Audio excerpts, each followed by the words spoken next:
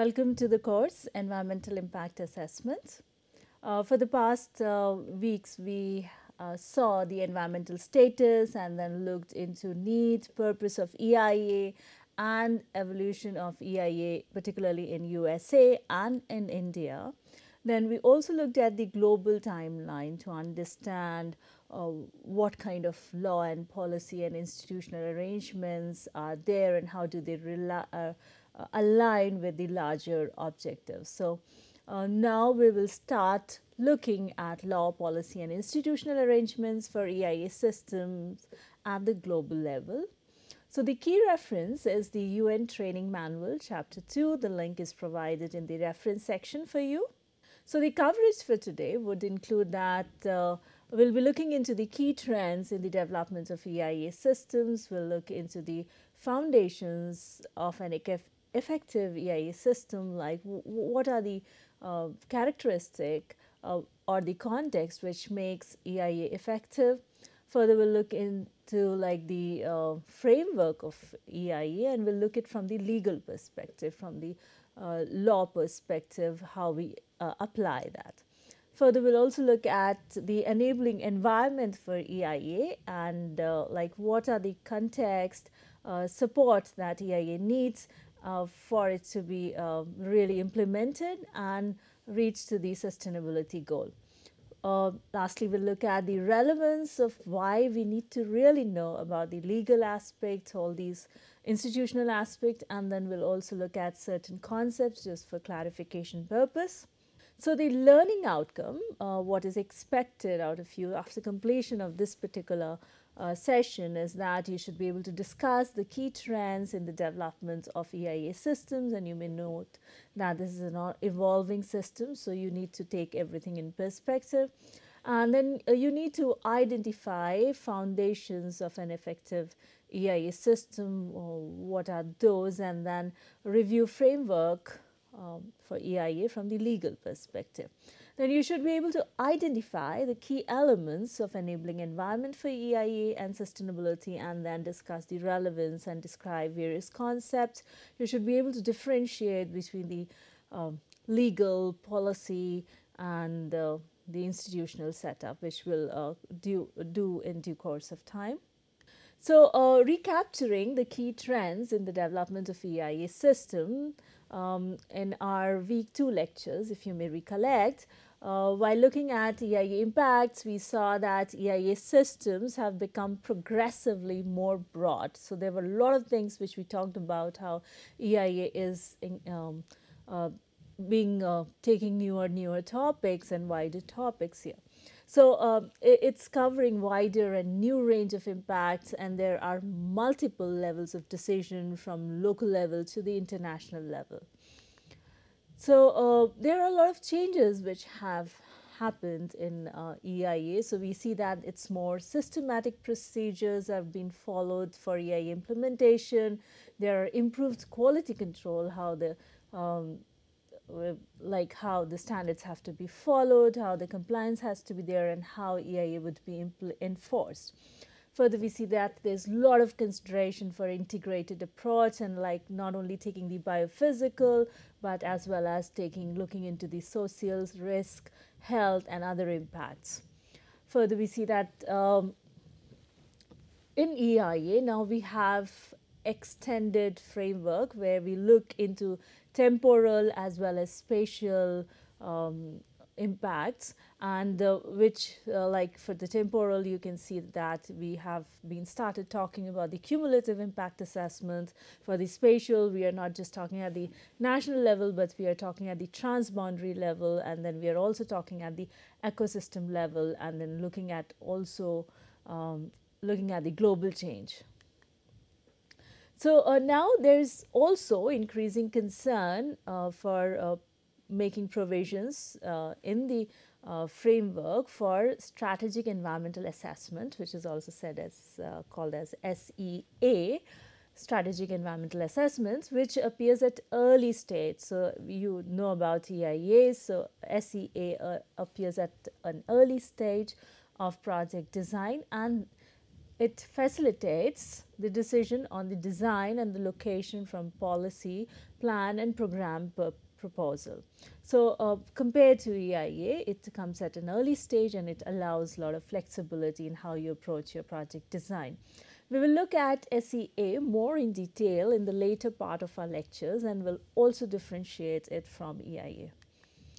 So, uh, we see that there is uh, also increasing or it uh, emerges from uh, the concept of sustainability and then the uh, these sustainability perspectives and principles have been incorporated a lot in EIA as well as in SEA processes.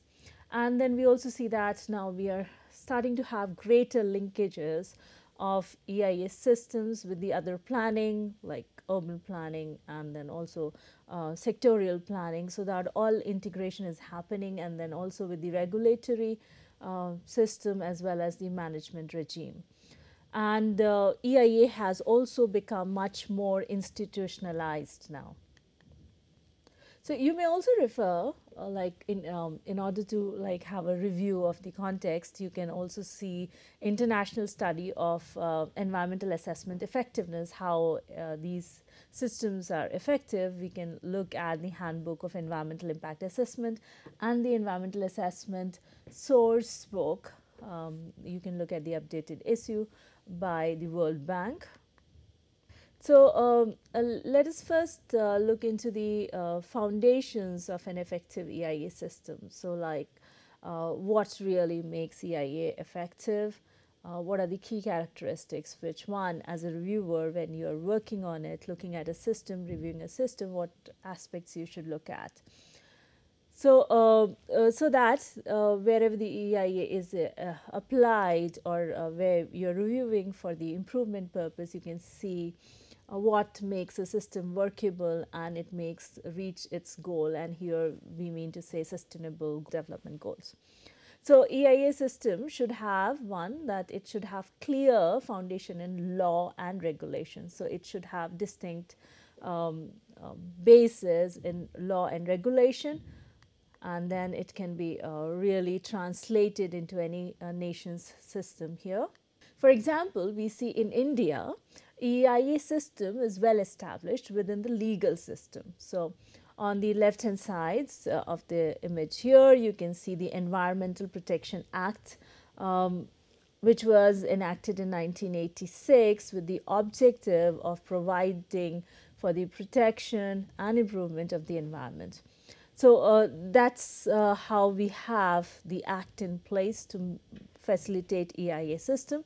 On the right top you can see within uh, uh, within this uh, the the ministry is conferred power uh, and uh, the power which you can see the list of powers that include environmental clearance and this I have taken from the ministry site and um, on the right bottom you can see notification which specifically addresses and guide clearance process in the country in our country. So, in uh, any EIA system, the framework should provide clear statement of objectives and requirements. So, that clarity is very important because it might lead to a lot of interpretation. So, uh, the EIA statement, uh, the purpose should be very clear and the what is required has to be clear here. So, the Environmental Protection Act 1986 clearly states the purpose. So, the purpose you can see the protection and improvement of the environment and for matters connected with it. So, it is broader and it really tells that it is concerned with the environment for the purpose of protection and improvement. So, I have taken a snip from the Environmental Protection Act 1986 here for your reference. So, here we can see in the EIA notification stating which development activities will require environmental clearance. So, you have entire list and uh, which have been provided here. It should have like you also see that uh, the EIA should have a mandatory compliance and enforcement. So, for which the act is formulated and bodies are set up with the power at central, regional and state level. So, uh, wherever the system is, one needs to ensure that it is mandatory and it can be enforced. So, uh, other aspect which we see is that the EIA system should be comprehensive in scope. So, it should allow uh, coverage of uh, all the environmental aspects for the application to proposals with potentially significant impact. So, whatever proposal can have significant impact, they, they, they should be included in the process. So, your um, system um, needs to be comprehensive in terms of scope. So, uh, in our case, uh, as we had seen while introducing EIA in India, that uh, we follow list system based on category and defined threshold levels. Uh, I have just put, uh, provided the snip of it here. Uh, link is also provided to you for downloading the list here. So, you can see how those categories are defined here and which one will go to which level for scrutiny or will not be applicable for EIA. So, that is how we do it, undertake it. So, uh, uh, when we compare this with NEPA, we uh, saw that NEPA uh, had a broader statement uh, which, uh, which is subject to interpretation and um, is supported with guidelines as already seen before. We have reviewed that. So, you see that compared to them, ours is very specific. We follow a list where whereas they have a system of reviewing it and then uh, considering it for the EIA purpose. So, EIA system uh, should also prescribe the process of steps and activities which will be taken. So, there, there needs to be clarity in what how it will be done here you can see EIA notification 2006 provides clearance process. You can see here the stages mentioned. So you can see the uh, stage like screening, scoping, public consultation and how the appraisal has to be taken, taken care of.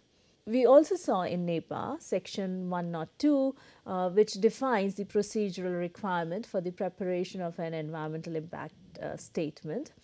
I have just taken the snip of for your reference. NEPA document link is also provided to you and we have already discussed that. So, you can see here uh, how within the NEPA, uh, NEPA 1969, the section 102 provides the procedural requirements. So, entire, entire uh, page, few pages are there which really gives you how what should be considered, how it should be considered. So, those are mentioned in the act here.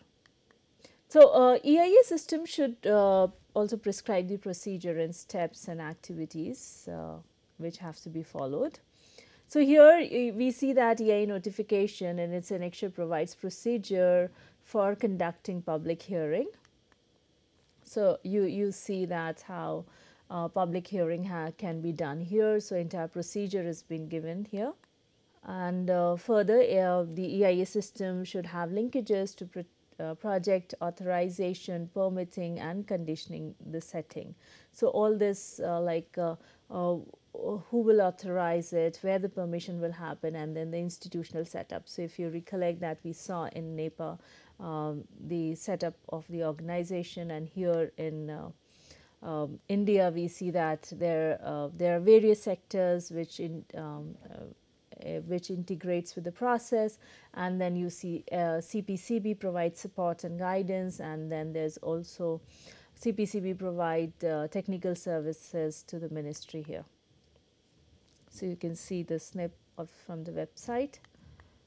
So, um, uh, that, that was about the foundational element what really makes uh, EIA uh, effective in any system. So you saw like range of things which should be there from the legal aspect to the process aspect to the linkages aspect, uh, public hearing aspect. So all those really make uh, it possible for EIA to be translated on ground. So now uh, looking uh, further, like looking at EIA uh, from the legal perspective, what all uh, should be there so that not lot many litigation would happen with it. So it should cover broad definition of environment and effects. So um, your um, act, uh, the statement which you have, uh, should have the broader definition of environment and effect and um, it should identify duty and particularly to avoid mitigate or remedy adverse uh, effects arising from any activity. So, it, it should allow you to uh, have those kind of range of duties like um, there should be no conflict of duty. You should be able to uh, have powers to mitigate or take actions to um, uh, control the adverse effects. So, uh, uh you should the statement, the system should also provide details for like what EIA report should have, and then it should make provision for mitigation measures uh, what mitigation measures the proponents intend to apply. Uh, furthermore, you will see that uh, the procedural guidance uh, should also be given on compliance and good practice in applying EIA arrangement.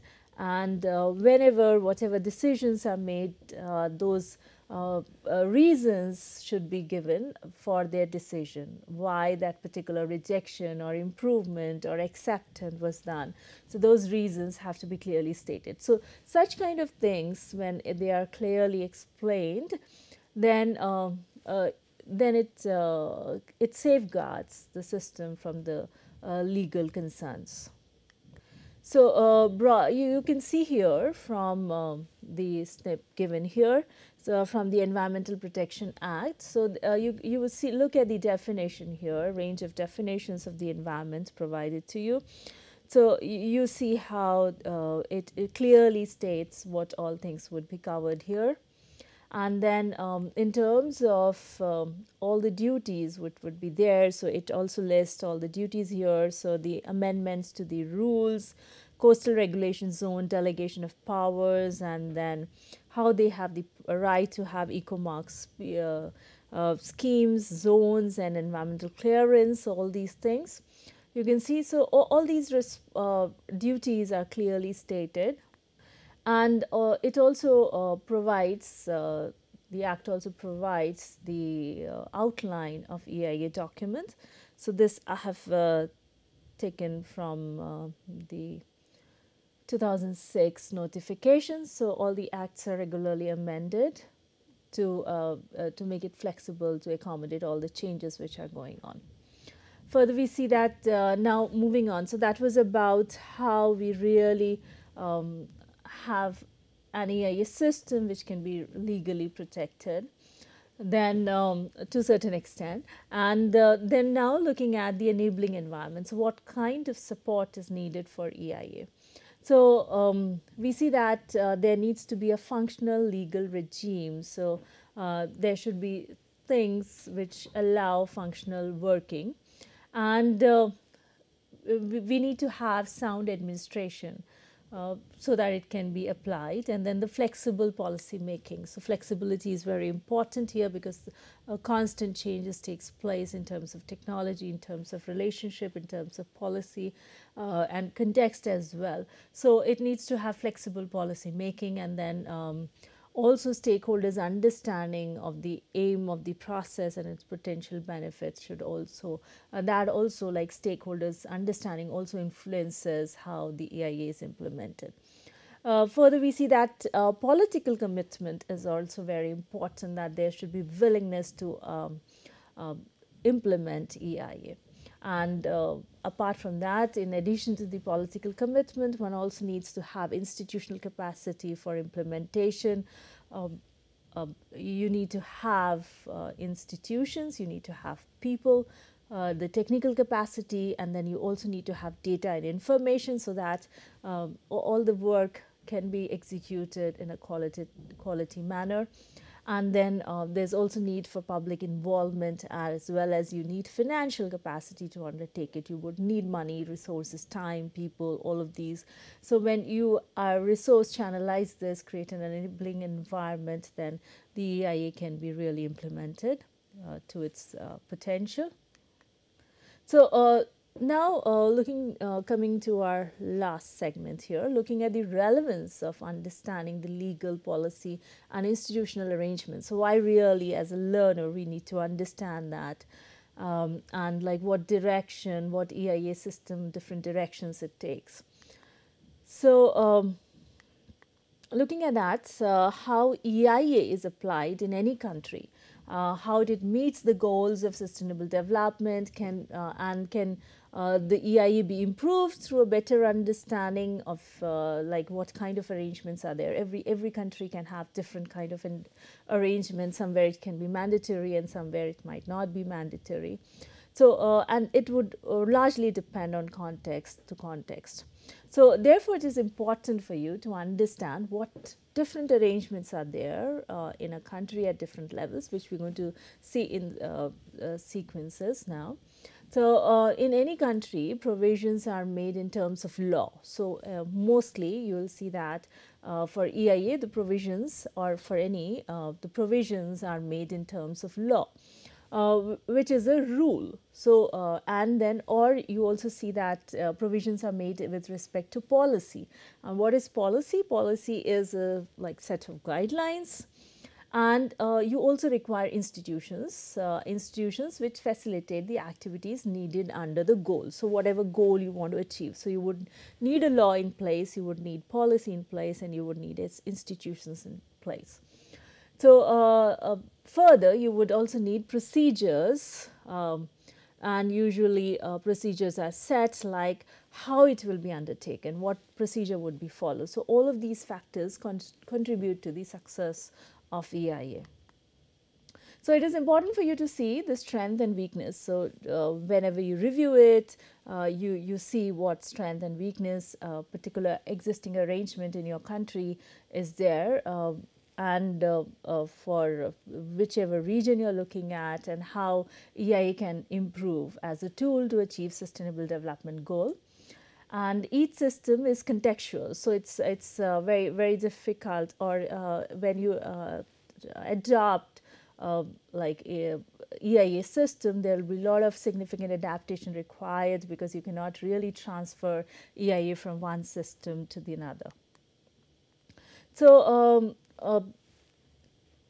uh, uh, keeping uh, keep in mind that every EIA system is typical, unique to certain extent. So, um, EIA in one country would not be really applicable in the another.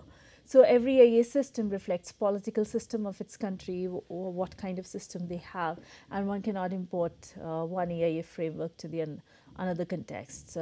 So uh, that one needs to look at. At the same time, um, uh, we need to at the uh, international level, global level, that's a lot of uh, integration which is required because we might be working at the international level, at the global level to meet the larger objectives. So there would be contextualization as well as uh, uh, some kind of standardization. So, uh, while you look at any EIA system, uh, what do you really look at? So, uh, like you real you look at who is the authority responsible for seeking the implementation of EIA procedure. So, who, who is going to do that? Who will have the power to do that? So, check um, and review the requirements for public participation. So, you should see that how public is participating, how aware they are, how informed they are and whether it is mandatory or optional procedure. So, in your country it could be mandatory or optional procedure as well like in India we saw it's by the law and like how it has been taken care of and where all uh, uh, how the overall procedure is and at uh, where all the quality control is being done. So, that all you should review while you look at any system. So, uh, while you see uh, uh, one of the key element public participation, uh, participation may vary from country to country reflecting different traditions and style of governance. So, it will depend on that. Some countries have established separate EIA authority in uh, other EIA processes administered by the environmental department or the planning authority. So, looking at the authority aspect, you might have independent as well as uh, uh, like it could be part of a bigger thing. So, no single EIA model is appropriate for all the countries. So, not only within country, but there is a need to be coherence between EIA requirements of various governments or agencies. So, uh, uh, like you need to have coherence to avoid uncertainty and confusion and uh, like um, uh, expense, added expense for the proponents, the pe people who propose the project. So, for example, countries receive aid from number of donors, each having its own prescribed assessment process. So, all the donors would have different formats. So, uh, and then the proposal could be also at the transboundary uh, level and it would require compliance with EIA procedure for more than two, two or even more countries or states or levels. So, that ways we need, need to have coherence. And for example like you have already seen ESPOO convention. So um, there uh, you see how different states and different countries would work. So there's some coherence which is needed so uh, looking at the uh, legal aspect policy aspect which we will be looking at series of lectures now so uh, building on some conceptual understanding so, uh, EIA takes place within the legal and or a policy framework.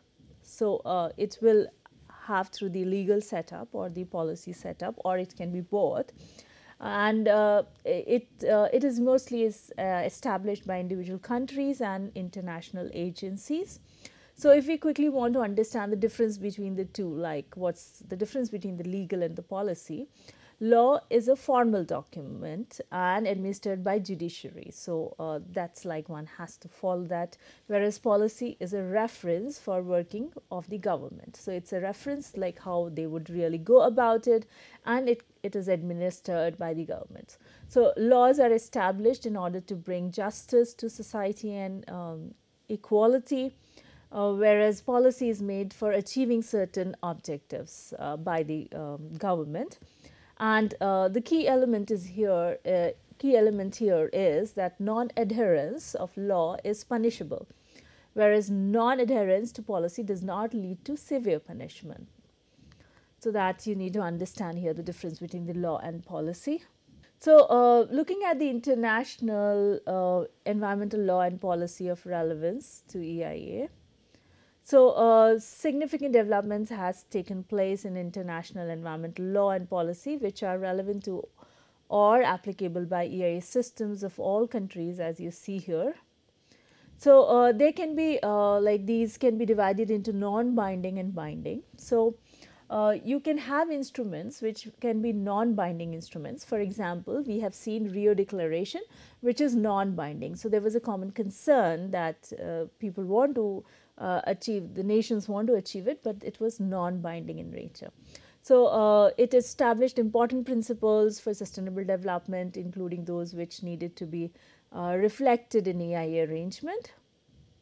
And then we also see that it also uh, was guided by the precautionary principle.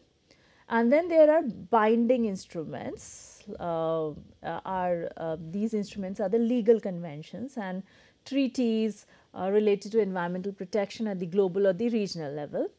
So, uh, there are non-binding and then the binding. So, they carry obligations. So, when they are uh, binding instruments, so they carry obligations for signatory countries. So, if we are the signatory, then we are bound by that. That may be met through uh, like that can be taken care through the EIA arrangement.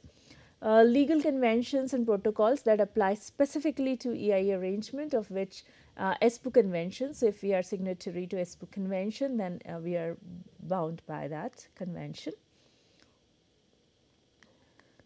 So, uh, EIA is specified as a mechanism for implementing certain aspects of both agreements. So, in EIA also you have certain non-binding and certain binding elements. So, more generally it can ensure that proposed action of the signatory act, uh, countries are in compliance with these and other international environmental agreements. So, we have seen all, all the series of those agreements. You may also find that agreements are also classified as green agenda, green list or brown agenda or brown list. So, just for your information, green list uh, covers natural elements, brown list is associated with human activities. Uh, you can see the examples here. So, you can see how convention on biological diversity, uh, convention on international trade uh, in endangered species, we had seen all of that before, convention on wetlands. So, these are all green agendas, whereas you see the brown agendas for example, like uh, control and prevention of pollution, so framework convention on climate change, uh, which targets on greenhouse gas emissions like and then the protection of ozone layer then uh, control of transboundary movement of hazardous waste, so they all become brown agendas. So, these examples are given to you just for review purpose. So, um, then uh, we also see that within the legal provisions there are uh, like you have general environmental law. So, you also find these kind of categories. And also environmental protection uh, like general environmental law like for example, we saw NEPA and uh, which uh, we have uh, which which is an umbrella law. So, within that everything else comes. Um, and also Environmental Protection Act 1986 is general environmental law. Um, and uh, these uh, incorporate the EIA requirements and procedure like you saw in the set of duties which were there. And then comprehensive resource management and planning laws are also there like you have New Zealand um, uh, resource management uh, Act which provides how the overall resource should be planned and managed. Then you have specific enabling or framework EIA law. So, that is like uh, European directives. So, then you have comprehensive or perspective law like um, uh, CAEE uh, which is from Canada you see here. So, uh, the, we have already seen NEPA and um, Environmental Protection Act, we can just look at uh, New Zealand Resource Management Act, uh, which is internationally um, internationally the RMA is significant as sustainability benchmark. So, uh, this was formed following years of process of law and government. So, um, RMA is an uh, like umbrella law meaning a collection of law, uh, omnibus law which um, like it cancelled all other uh, laws and then it came as one uh, umbrella law. And within this single rule, uh, with the purpose of promoting the sustainable management of natural and physical resources. So, not just by the element of EIA, but with all the other management aspect this is taken care of. And uh, section 5 from this act defines sustainable management among other things uh, as like what all things need to be avoided, what needs to be remedified and those things. And it also imposes biophysical tests of sustainability on act, sustainability on activities. Uh, uh we see that RMA does not define an EIA process. So, like how different different EIA system can vary here you see that RMA does not define EIA process. Uh, however, they have detailed guide for good practice issued by Ministry of Environment.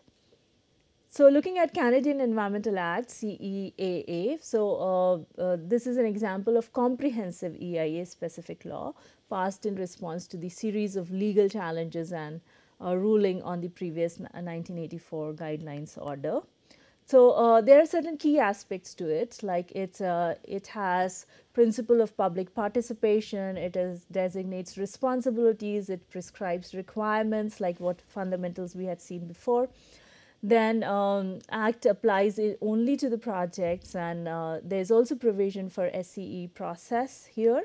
So, um, looking at the format or the layout of the European Commission we, uh, uh, directive on EIA, we see that EIA directive is a framework law.